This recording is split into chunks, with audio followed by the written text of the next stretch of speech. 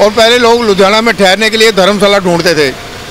तो जो हमारे बनिया परिवार थे, उन्होंने काफ़ी जहाँ धर्मशाला बनाई थी, मोटूराम की धर्मशाला होगी, अग्रवाल धर्मशाला होगी, दलपत राय धर्मशाला होगी।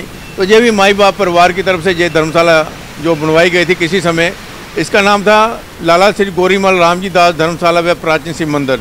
और जहाँ पर मंदिर भी है तो ये धर्मशाला भी है। तो ये घंटाघर के पास ही, घंटाघर उस तरफ़ है, दिखाइए, चौड़ा बाज़ार घंटाघर, उस तरफ़ दिखा दीजिए। और देखिए ये स्टॉक एक्सचेंज स्टॉक एक्सचेंज सामने दिखा। ये घंटाघर है इस तरफ़, लोग इधर आते थे, जाते थे, जहाँ ठहरने के लिए लोग रुपया, दो रुपया रात को ठहरने का किराया होता था जहाँ पर। और जो सैनिक रेस्ट हाउस भी यहीं पर है, सैनिक लोगों की जो रेस्ट हाउस है, गेस्ट हाउस है। तो ये सामने स्टॉक एक्सचेंज है, दिखा दे ऊपर वाली जरा, ये भी शेयर मार्केट बोलते हैं, ये टूट फूट गई, अब खंडर हो चुकी है।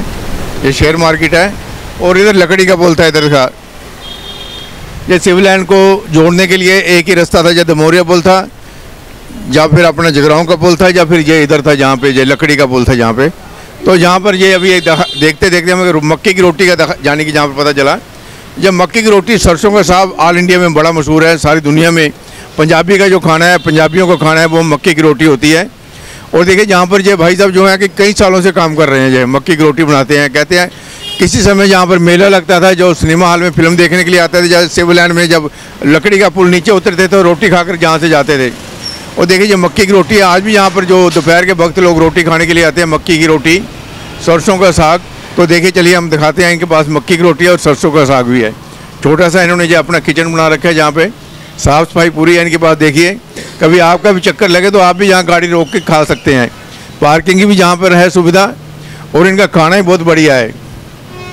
अगर आप ऑर्डर देना चाहें तो ऑर्डर पे भी आपको घर पे पहुंचा देंगे क्योंकि ये जो कितने साल तो ਕੰਮ ਕਰ ਰਹੇ ਤੁਸੀਂ ਖੁਦ 40 ਸਾਲ ਤੋਂ ਉੱਪਰ ਹੋ ਗਏ ਆ ਤੋਂ ਪਹਿਲਾਂ ਪਹਿਲਾਂ ਫਾਦਰ ਸਾਹਿਬ ਸੀ ਮੇਰੇ ਮਤਲਬ ਕਿ 94 ਕੇ ਸਾਲ ਹੋ ਸਾਨੂੰ ਹੋ ਗਏ ਇਸ ਜਗ੍ਹਾ ਤੇ 94 94 देखिए नब्बे चार चौरानवे चौरानवे साल हो गए इनको तो इधर आइए थोड़ा सा इधर आइए थोड़ा लाइट आएगा इधर वो देखिए चौरानवे साल से जहाँ पर ये जहाँ पर ये मक्की की रोटी सरों का साग जान की आज़ादी से पहले की यहाँ पर इनका ये ढाबा है जहाँ पर लोगों ने बड़े बड़े ढाबे बना लिए बड़े बड़े रेस्टोरेंट बना लिए लेकिन ये जहाँ पर आज भी उसी तरह जिस तरह इनके फादर साहब जहाँ पर रोटी पानी का जो ढाबा का काम करते थे आज भी ये कर रहे हैं। तो लोग की फिर रोटी जी है कुछ हाँ जी स्पेशल लोग आते हैं। हाँ गूगल पे से भी पाया हुआ है लोग स्पेशल आते मक्की रोटी साग लेकिन साग ही बनाने हैं।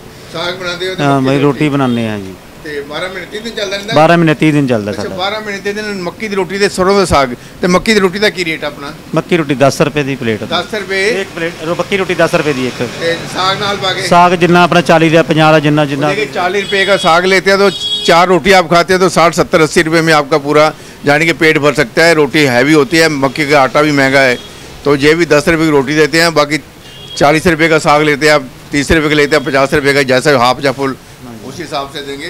बाकी देखिए इन्होंने थोड़ा सा ये अपना घर सजा रखा है जहाँ पर दुकान सजा रखी है। हाँ पंजाबी सभ्याचार जाने के मक्की की रोटी सरों का साग और कभी आपका चक्कर लगे क्योंकि इनके पास फ्रेश माल होता है। किसी होटल में जाओगे रेस्टोरेंट में जाओगे तो वहाँ फ्रेश नहीं मिलेगा। जहाँ पर तो दिन भर चलता रहता है लोग आते हैं खाते हैं चले जाते हैं। और साथ में ये सौ वर्ष पुरानी जो है धर्मशाला है लाला गोरीमल की धर्मशाला। है और देखिए साग भी देख लीजिए पूरा साग बनाया गया है। दिन भर चलता रहता है। तो आपका भी कभी चक्कर लगे तो यहाँ पर लकड़ी के पुल के नीचे नियर सोसाइटी सिल्मा अब जो प्लाजा बन गया, नाम अभी भी सोसाइटी सिल में बोलते हैं लोग उसको। चलते चलते कभी आए तो मक्के की रोटी का ज़रूर स्वाद देखना जहाँ पर। और लस्सी तो नहीं रखी अभी?